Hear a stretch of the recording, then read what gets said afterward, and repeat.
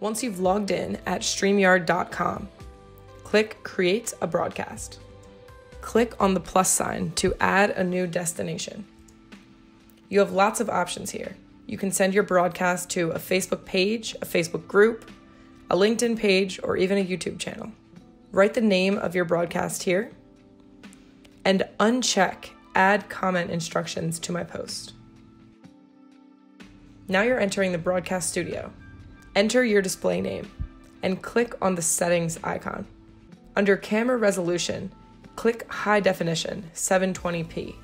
If you have a microphone plugged in, click on audio, microphone, and choose your microphone as the input. You should see those green dots bouncing around. That means you have a good audio signal. Click on brand. You can choose a color that best represents you or your company here. Upload your custom logo here, and that will appear in the top right hand corner of your video. You can also upload a custom overlay. Now, this will need to be designed ahead of time to fit the size of your screen.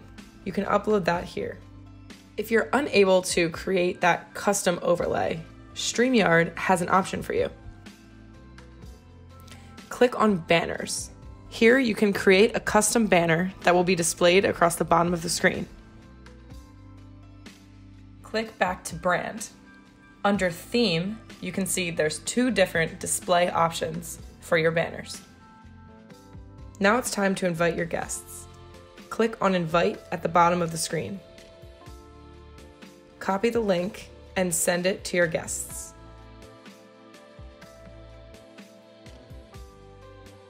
Now wait for your guests to appear and add both of your videos into the stream. There are a few different layouts for you to choose from, and you can also share your screen with your viewers.